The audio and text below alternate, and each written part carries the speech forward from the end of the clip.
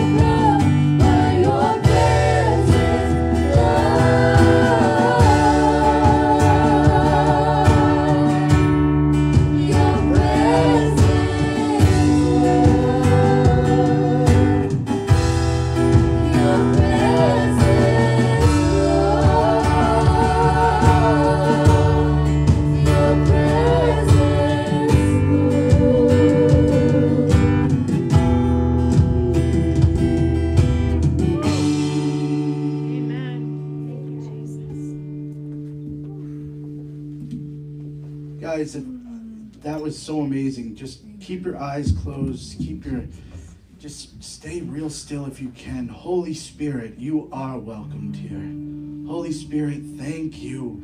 Thank you for living inside of us, Lord. Thank you for showing us the way that we are supposed to live. Even though we aren't able to always do it, we know that you are right there to help us through it.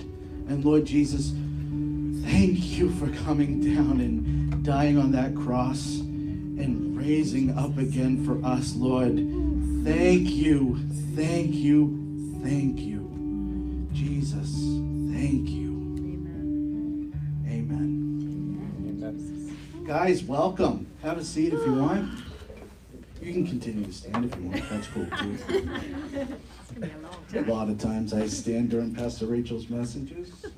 So to stay awake? No, no, not to stay awake. Okay, the heckling on Mother's Day has begun. By the way, happy Mother's Day. Excellent, excellent.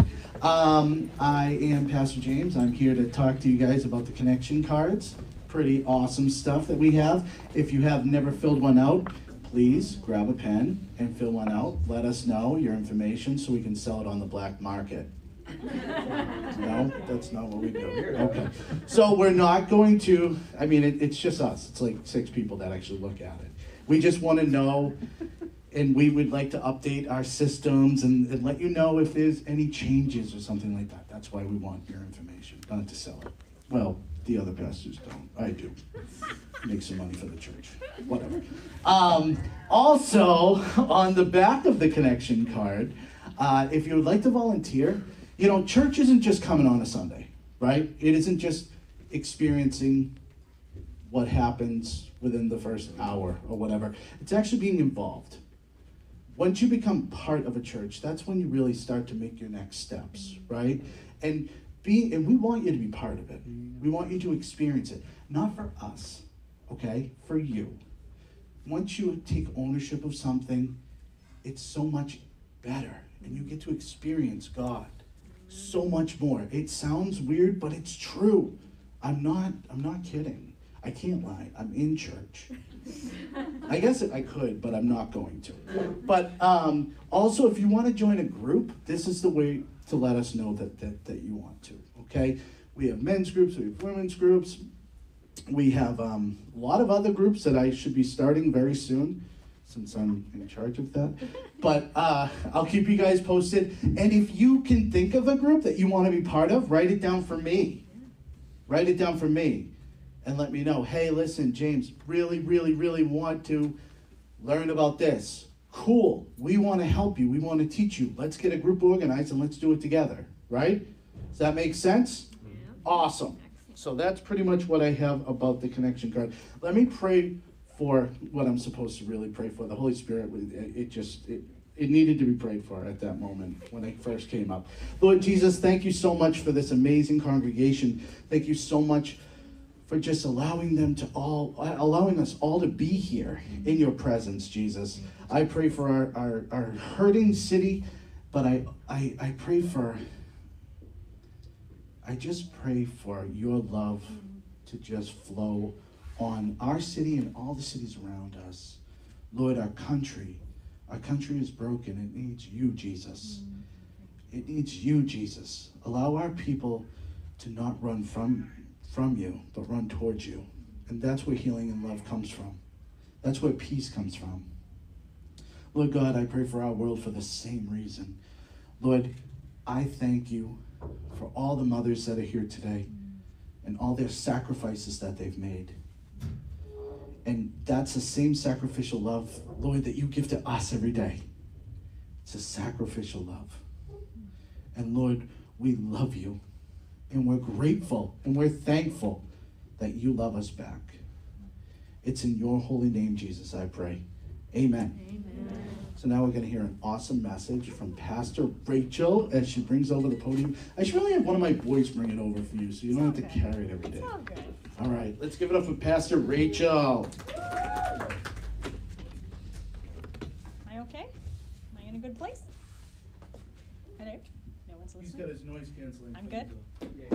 What about me? Is this okay? How about where I Emily? am? Yeah. You guys look No, I'm just gonna look at it right here. Just- There, there we go. Okay, it looks good. I just realized we're talking to. Good morning, everyone. It is great to see you all here today. Um, happy Mother's Day to all the moms that are here and mom-like people. There's a lot of people who fill that role.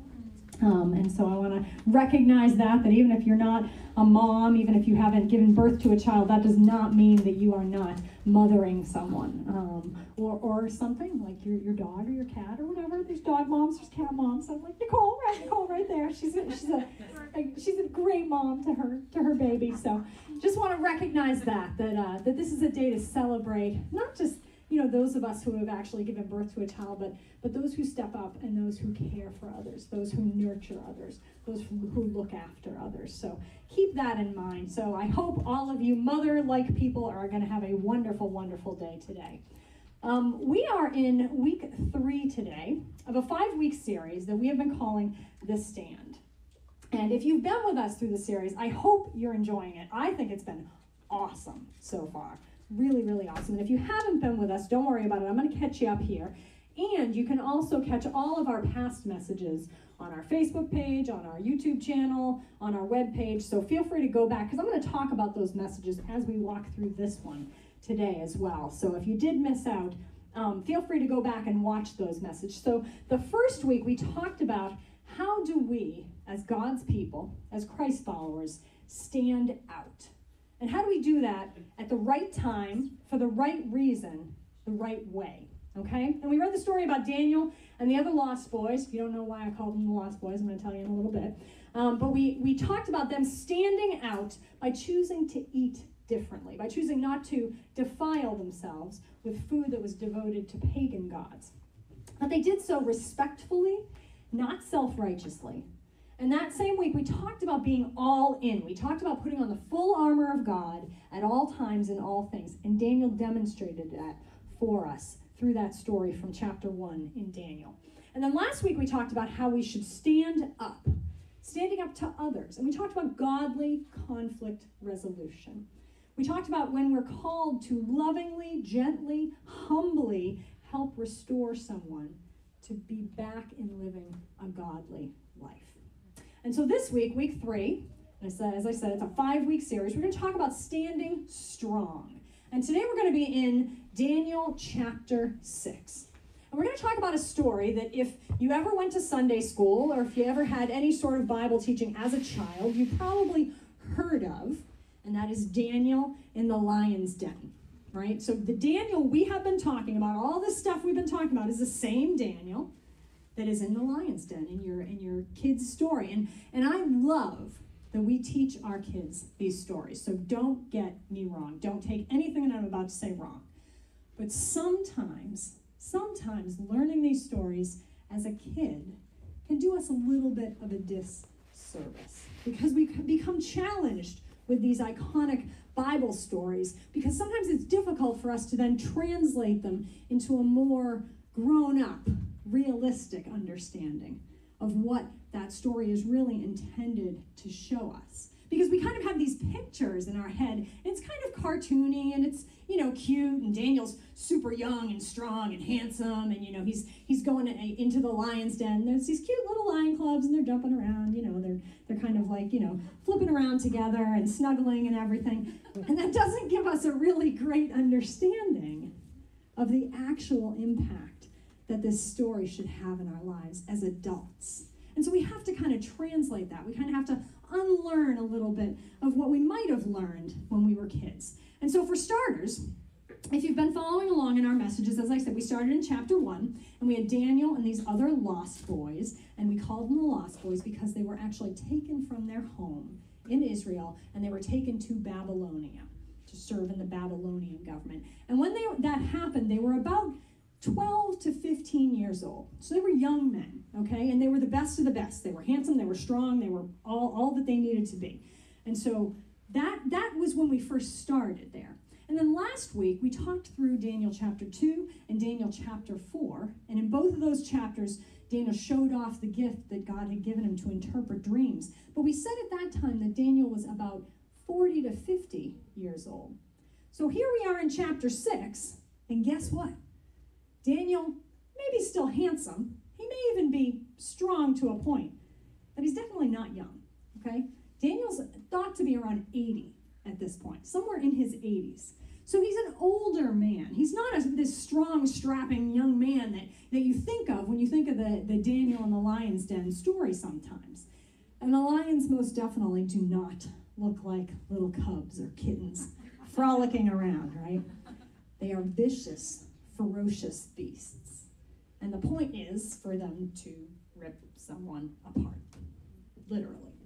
So we gotta we gotta start getting a little bit of this grown-up context in this iconic biblical story and see how Daniel's experience in the lion's den and how he got there is going to help us understand how we, as God's people, are called to stand strong in the face of severe opposition.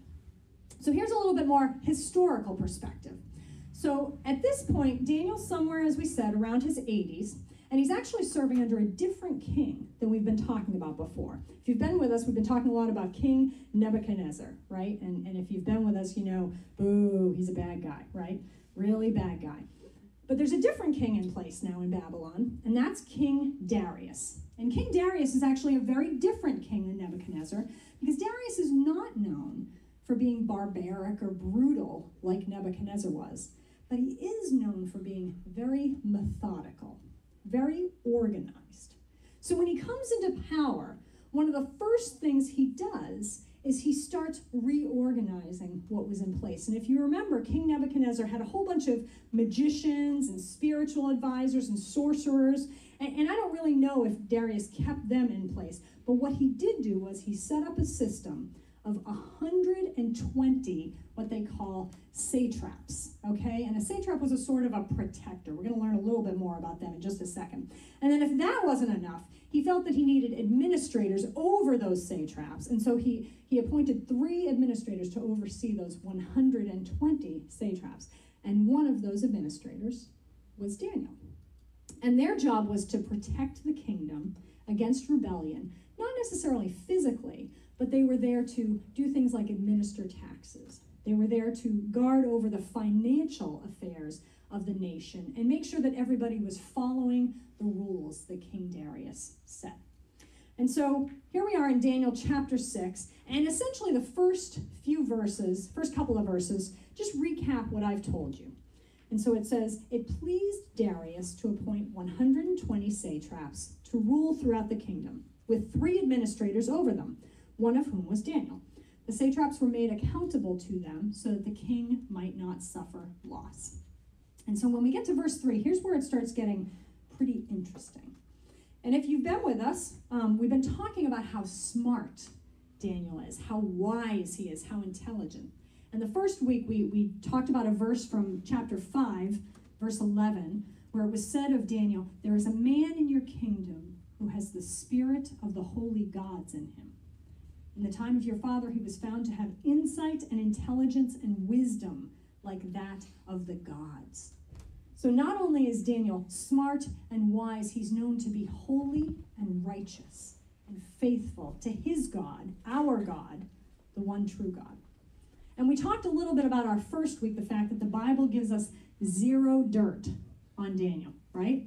There's no secret love child. There's no murderous thoughts or actions or anything like we see with some other biblical characters. You know, big biblical icons. We see this. We get none of that with Daniel. We don't hear anything about that, and that's going to come into play in this story today.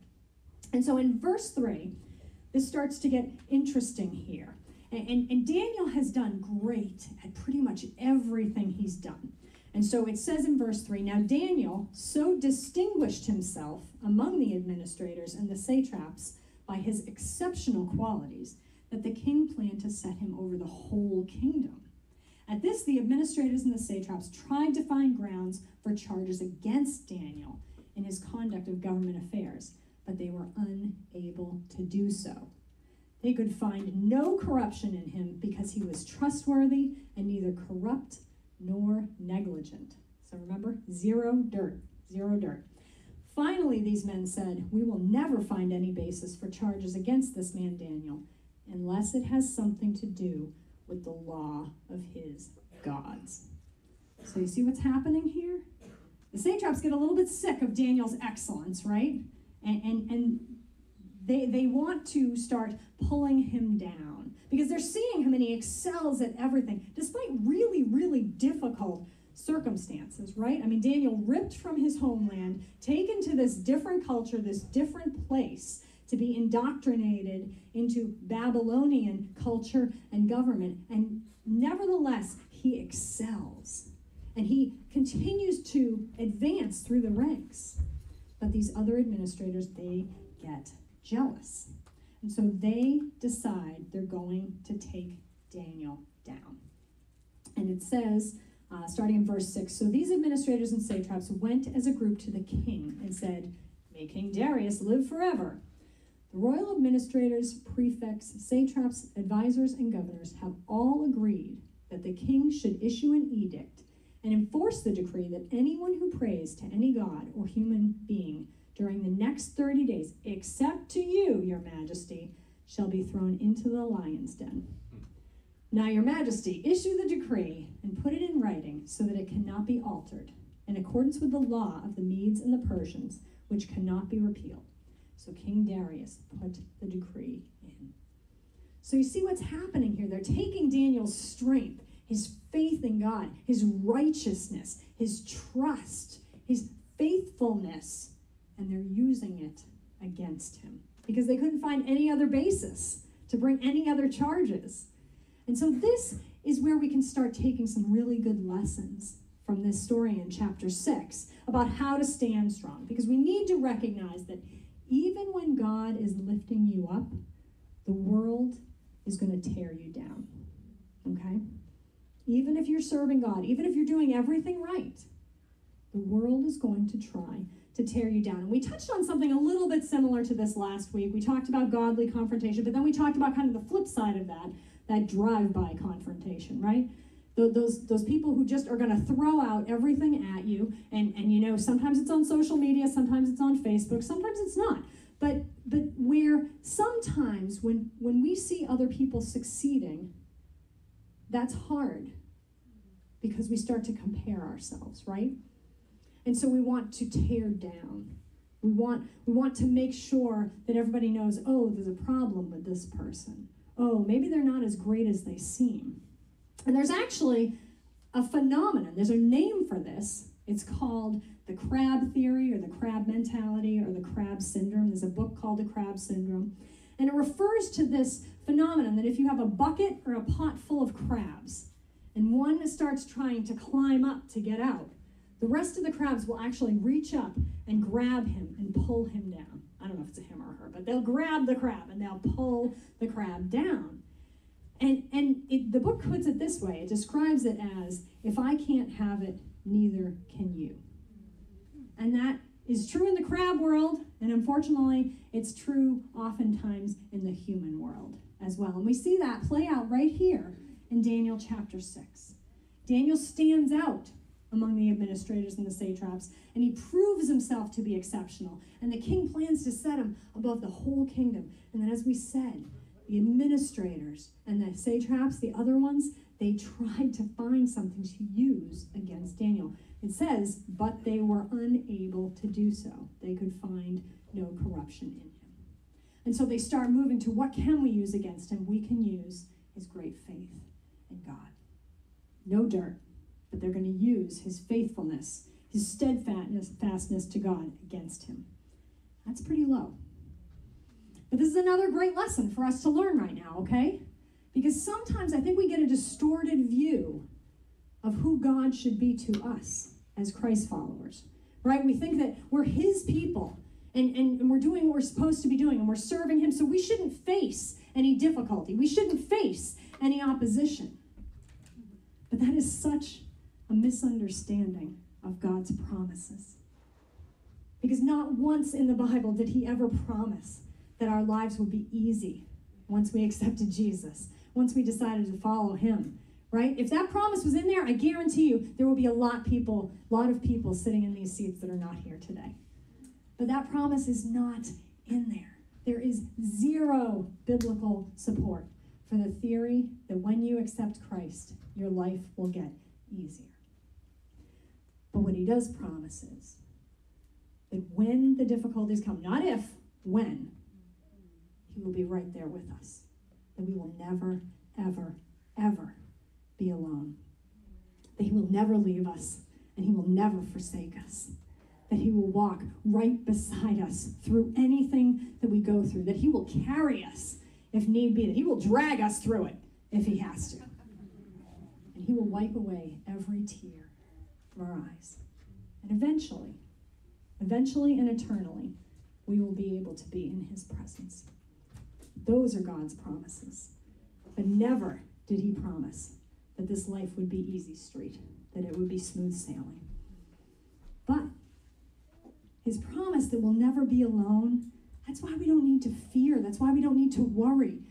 When we face hardships, we don't need to, to go into hysterics or, or panic. We, need to know that God is with us. And we can take those hardships and we can use those hardships, right? For those of us who are in recovery, we're familiar with that term hardships and we're familiar with the serenity prayer. And what does the serenity prayer teaches us? It teaches us to accept hardships as the pathway to peace. We accept hardships as the pathway to peace, taking as Jesus did this sinful world as it is, not as I would have it. Trusting that you, that's God, will make all things right if I surrender to your will, so that I may be reasonably happy in this life and supremely happy with you forever in the next. Amen. That's what we're talking about here. We're not going to have an easy life, we're going to have hardships. But those hardships bring us to something greater. And we don't have to worry, and we don't have to be disheartened. Pave your pathway to peace with that opposition. Count those trials as joy. And when others start coming against you, keep going and stand strong as long as you're doing what you're doing for the glory of God. So, to make a long story short, and you can read all about it, all in Daniel chapter 6, the satraps go on to the king and they tell him how great he is. As we as we read everything, they said, You're the greatest. Let's put this rule into place. You know, next 30 days, someone else prays, blah, blah, blah. And King Darius, being much like most kings, he, you know, he believed his own hype. He was like, Yeah, you're right, I am pretty great. No one else should be praying to anybody else but me. So hmm. I think we're gonna do that. So anybody who prays to any other gods or any other person, they're going to become the lion's lunch. And so that's the rule, and I have said it. and I'm King Darius, and that's the way it is. So, and uh, blah blah blah. So as planned, this is an issue for Daniel clearly because he's a great man of faith. He's a great man of prayer. And I just got to wonder for a second, how many of this, how many of us here in this room, or how many of us out in Facebook land, would this decree be a problem for. If our government all of a sudden went haywire and just said, hey, nobody else can pray to anybody else or any other God or anything like that, blah, blah, blah. How many of us would this really, really present a deep personal problem for? And I'm not talking about getting on our soapboxes and oh, the government can't do that. No, don't, don't, don't take away my freedoms. I'm talking about how many would be in anguish over this because our relationship with God, our desire to come to Him in prayer is that deep, that heavy. It's just a thought, just something to think about. Back to Daniel. So here's Daniel. He's 80 years old. He's facing the problem of having to stop this practice that he's been doing for his entire life. Or facing the lion's den, facing these, these remember, they're not kittens, these ferocious beasts. Lion lunch. Lion lunch, that's right. But here's what Daniel says. It says in, in, verse 10. It says, Now when Daniel learned that the decree had been published, he went home to his upstairs room with the windows opened toward Jerusalem. And three times a day he got down on his knees and prayed, giving thanks to his God, just as he had done before. So who how, how did this change things for Daniel? Not one bit. He didn't pray more because of it. He didn't go to God and go, Oh my gosh, I can't believe what's happening, God. Why is this happening? Help me, help me. And he didn't lose his faith and stop praying because of the decree. He did exactly what he had always been doing. And he brought it to his God. And I want to just give a little bit of a reminder here that, that you know, some of us know this story and we know how it's going to end, but Daniel did not, right? And that's, that's some perspective that we need to, to keep in mind here. Daniel did not know how this story would end. He was 80 years old. He had walked with God for a long time now. And, and you know how we talked about how faithful Daniel is? Well, guess what? That's nothing compared to the faithfulness of our God. And I'm convinced that the reason that Daniel was able to continue to do what he had always done was because God had proven himself faithful over and over and over in Daniel's life. He'd seen it, he'd seen the proof. He'd seen and know that God was good. And that whatever he may face, God was going to be there with him. And so he heard about this decree and he just went about and he did what he always did. And this is another great lesson for us to learn here that our first response to trials should never be to panic, but always to pray. And hopefully it's what we've always been doing, like it is with Daniel. But regardless, we take it to God. You know, Daniel didn't stand up to the king and say, This is ridiculous. I can't believe you would make this this rule. This is against God, and I denounce you, and this is terrible, and um, God's going to strike you dead. You know, it's kind of it's kind of like the the first week we talked about with the food, right? He didn't say, "We're not eating your food. That's dedicated to the pagan gods. Forget it. This is this is crap," you know. But he said very respectfully, "Hey, how about we try this?" And his God was proven faithful. And in the same way, Daniel didn't create a stink. He didn't he didn't make a big deal out of it. He just went about his business and he brought it to God. Again, on his knees, humbly.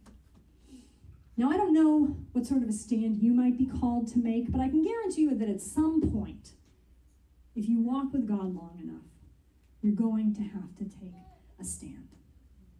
And what I can tell you from God's promises is He's going to be there with you. He's going to walk beside you. No matter how faithful or unfaithful you have been to Him, He is faithful and He will be there. But I'm also going to tell you that there's no guarantee it's going to work out the way you want it to work out. There's a lot of biblical figures who had just as much faith as Daniel, and for whatever reason, God didn't rescue them. John the Baptist, he was beheaded in prison, but he was faithful to the end. Stephen, he was the first martyr for his faith after Jesus' death and resurrection, and he was stoned to death at the hands of none other than a young Pharisee named Saul, who eventually would become the Apostle Paul. And oh, by the way, most of the apostles killed for their faith. It, the promise, again, it isn't that it's going to work out the way we want it to. But the promise is that He's there and He's trustworthy. And I wasn't going to share this story because I know I've shared it before, but um, too bad. You're going to have to listen to it again. Uh, and the reason is because it came up on my timeline that six years ago today, um, our oldest daughter, Julia, uh, came home from uh, a lengthy mission trip that she had been on in Nepal. And I, I, put up that picture. You can put that up, Joe, if you have it. If you don't have it, no big deal.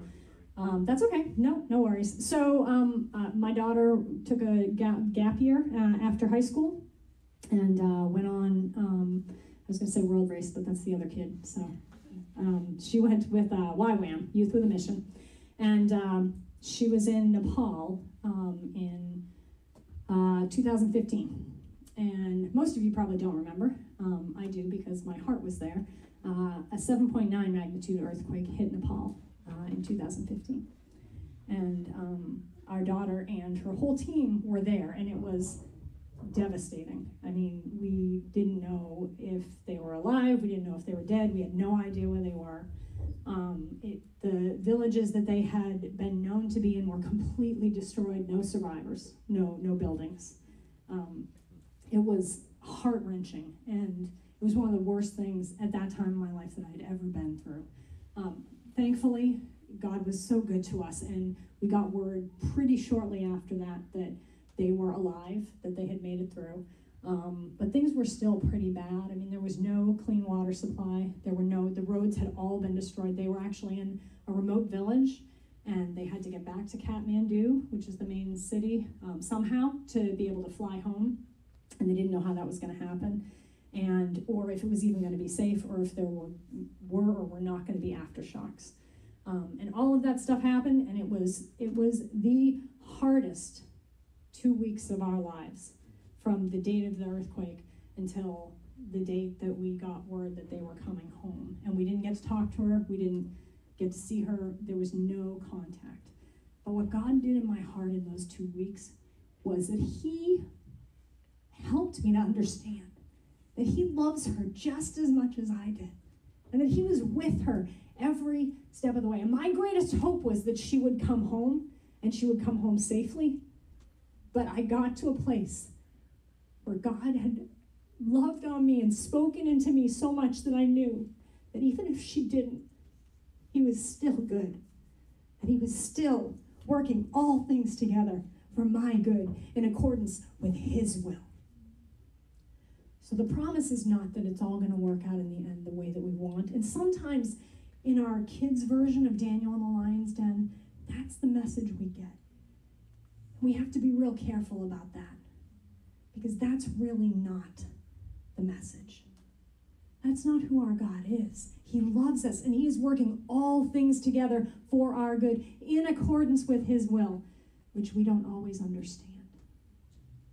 And we have to know that in all things, at all times, He is still good and He is trustworthy at all times. So, fast forward through this story, King Darius realizes that he was tricked into giving this order and that Daniel had broken it because of his faithfulness to his God. And the king is actually devastated because the king has a great affinity for Daniel. He really, really is fond of Daniel, just like most people were, unless you were jealous of him. And so the king gets mad because he knows he's been tricked, but he can't do anything about it because he's issued this order, and this order is irrevocable, okay? So there's nothing he can do about it.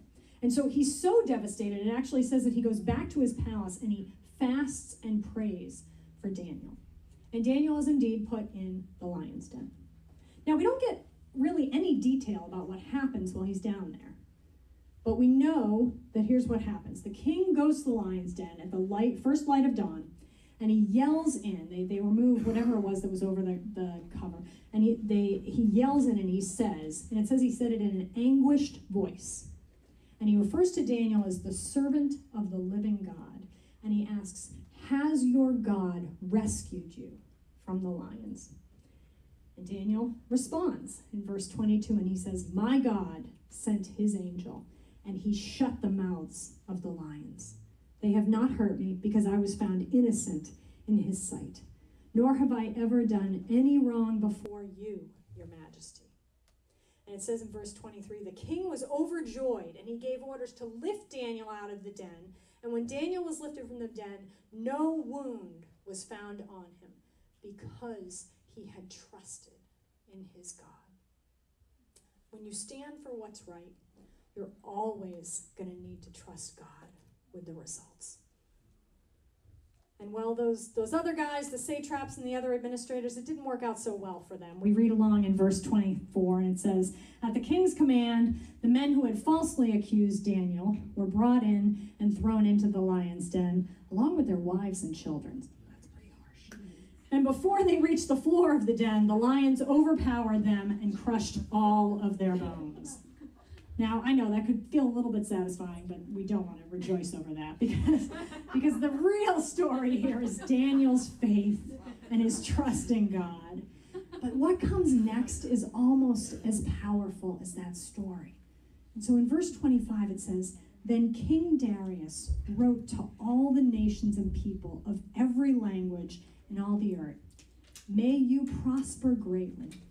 I issue a decree, another decree here that in every part of my kingdom, people must fear and reverence the God of Daniel, for he is the living God, and he endures forever. His kingdom will not be destroyed, his dominion will have no end. He rescues and he saves. He performs signs and wonders in the heavens and on the earth. He has rescued Daniel from the power of the lions. Oh my gosh, King Darius just became a believer, right? He just he just converted. He's like, he is the living God. He saves, and, and he issues this degree, which probably isn't a great thing because he's like, everybody has to worship him. But you know, but oh my gosh, look what Daniel did with his faith. And then the last verse there in chapter 6, verse 28 says, So Daniel prospered during the reign of Darius and the reign of Cyrus the. God is so, so very good when we place our trust in Him and we resolve to stand strong, even in the face of opposition. Let's bow our heads and pray together. God, we just come before you. We thank you. We thank you so much for your word. We thank you for these stories from the book of Daniel. And I pray that your word and your spirit would give strength to each one of us, that we would be encouraged to follow you, to stand strong in the face of opposition when, when others come against us. And I pray, God, that we would be built in our faith, that when we come to you in hard times, that you would strengthen us that you would help us to stand up to all the trials that come with living in this world. God, we thank you. We thank you for, for what you're speaking into us today through this message, through, through our time here together. And I believe, God, that every time we come into your presence, every time that we encounter your Holy Spirit, like we just sang about, that you want to speak something into us, that you desire to give us revelation. And so, God, I pray for, for those who are open and hearing from you today. I pray that your Holy Spirit would just be able to reveal new truths to us, would be able to just draw us deeper and deeper into relationship with you. And for those of us who are actively facing opposition, I pray that you would give us strength strength to stand, to stand and continue to bring you glory, and not worry, but trust that even Jesus was opposed.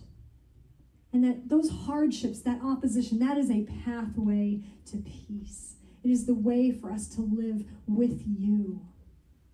And that when we faithfully serve you, you will be right by our side. We can come directly to you. We can bring whatever it is that's troubling us directly to you in prayer every single day. We can always turn to you. And God, I pray for those who may be here today or who may be hearing this message and maybe recognizing for the very first time that they have a need for you. At this specific moment in time, there's a recognition, a revelation that's coming that they need you.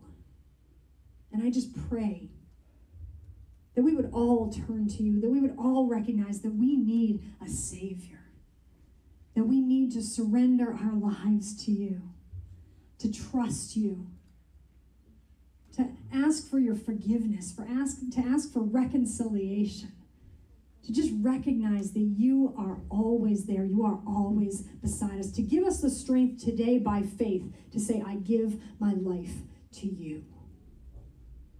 And I just pray for each and every person who's in that place, whether it's for the very first time today or whether it's it's a case that you maybe just have, have strayed a little bit or just be off the path a little bit. We're going to pray as we pray every week. We're going to pray just a very simple prayer, a sinner's prayer. You can pray it in your head, you can pray it out loud, you can write it down and pray it later if you want. But we're just going to pray this together right now. God, I know I'm a sinner and I can't fix myself. But I believe that you can come into my life and make me new. I give myself to you. In Jesus' name, I pray. Amen. well, we had all these technical difficulties, so we didn't really talk about who was going to do the offering. So, oh, oh, me? Okay, it's me. All right, perfect, great. Well, I'm sorry you have to listen to me for a little bit longer, but um, this is a time in our worship service where we take the offering. And um, if you've been with us before, you know that, um, you know, we take the offering very seriously here, and, and not because we have to pay the bills, and, and not because there is a, an actual, you know, material cost to doing ministry, um, but because we consider our offering an act of worship. And there's no accident that we do this during our worship service. Because just like prayer, just like worship through music, um, giving of ourselves, giving of our resources, giving of God's provision to us back to Him is an act of worship. And it shows that we trust Him. And I don't say this um, to try to get money out of any of you, believe me. And if you're visiting with us for the very first time, I just want to say, um, please, we have no expectation that you will give today. Um, we'd love to have your your um, connection card. We'd love to have any prayer requests you have, but um, we don't want your money. Um, and God doesn't want your money, He wants your heart. But very often, where we put our time and our resources, that's where our heart is. And so, if God's leading you, we just pray that you would just give as you're led.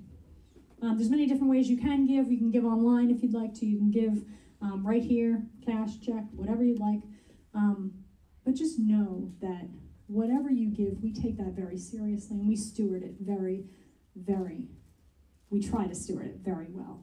Um, and we take that very seriously um, because this is your act of worship and we don't want that to be wasted ever.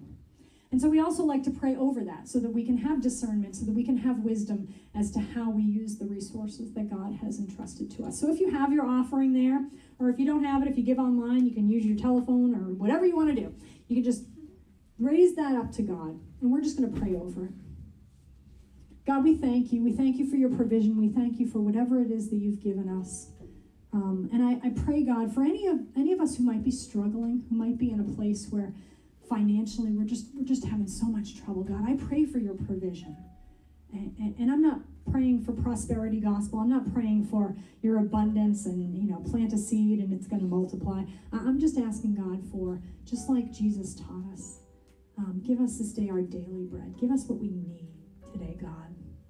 And help us to discern of those resources that you entrust to us what we should be giving back to you what we can um, do to show you the devotion of our hearts. And I just pray that um, you would just speak into each one of us about that. And all of the resources that we are entrusted with here at Just Church, I pray that you would give us wisdom over. I pray for our leadership that we would we would um, steward those well, that we would spend them well, that we would um, use those resources to bring glory to you and to your kingdom. And we thank you, God. We praise you for being a God who is trustworthy, who is faithful at all times. We praise you and we honor you and we worship you. And we lift all of this up to you. In Jesus' mighty name. Amen. Um, as we prepare to close out our service, we're going to um, sing one last worship song. As we do, um, I think Don's going to be coming around with our, our bucket. If you do have something to put in the offering, you can um, feel free to put that in there. Um, and let's all just just lift our hearts and our minds to God one more time um, as we come before Him in worship. So, two years ago today was the last time that we went down to Honduras with Trust Without Borders. Um, and that came back in my photos. And I remember getting back and just feeling feeling like useless here. Like, what was the point of my life? Like, I had I had done HVAC, and I was like, what is HVAC in like the whole grand scheme of the world? And I just felt like so miserable going to work and just doing normal stuff.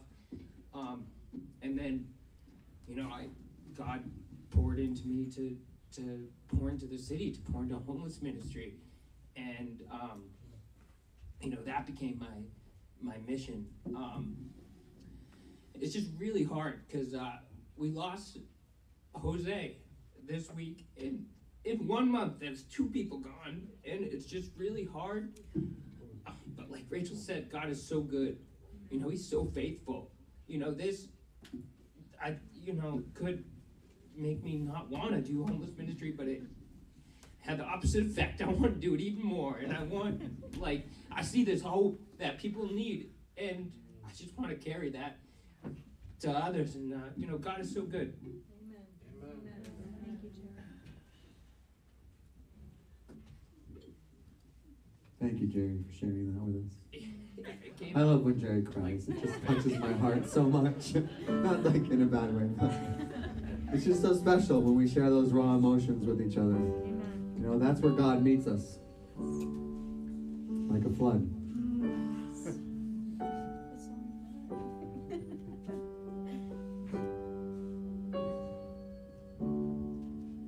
Hear the word roaring as thunder to tell. For the dry the season is over, there is a cloud beginning to swell.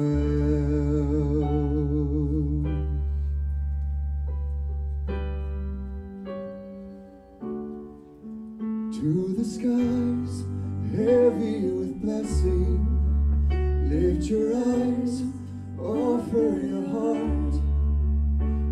Jesus Christ, open the heavens, now we receive the Spirit of God.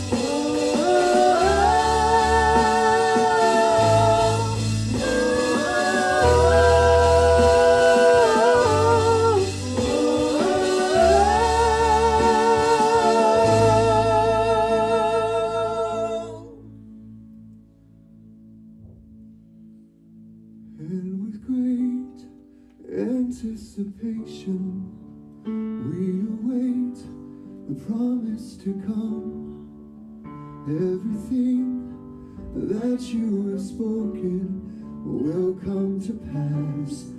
Let it be done.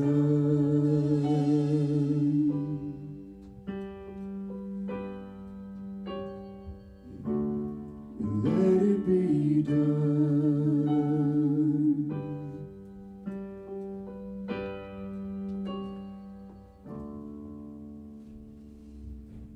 God, we thank you for your faithfulness. We lift those words up. We ask, whatever you have done. In our lives. Let your will be done in our lives. We thank you. We praise you that you are trustworthy, that you are faithful in all things at all times. And we lift ourselves up to you. We surrender our lives to you and we put ourselves in your hands, Lord. Lead us, guide us, give us wisdom and discernment as we prepare to leave from this place. God, we pray for your protection upon us. We pray for your spirit to go with each one of us and to continue to speak into us throughout this week. Help us to see others as you see others. Help us not to be crabs pulling them down into the pot. Instead, God, help us to lift one another up. Help us to encourage one another. Let us learn from these stories, not just from the good, but from the bad too. Help us to see Daniel's faithfulness and follow him in those footsteps, and help us see the jealousy and, and, and the bitterness of the satraps and the administrators, and help us to not allow that into our lives. We thank you and praise you, God, that you are a God who walks with us at all times in all things. That you're always there, no matter what, we can come to you. We can lift things up in prayer to you and know that you are faithful, that you are trustworthy. And so we come before you today just thankful for those reminders from these stories that are thousands of years old at this point, God. May we never stop learning from your word. We lift all of this up to you with praise and thanksgiving. In the name of God, who is our Father in heaven. In the name of God, and the person of Jesus Christ, who died on the cross for each and every one of us. And in the name of God, and the person of the Holy Spirit, who lives with and in us at all times. Amen and amen. It is always a privilege to worship with you all. Happy Mother's Day to all those moms and mom like people out there. If you are not a mom or mom like person, take good care of one. Love you all so much. Have a wonderful, wonderful week.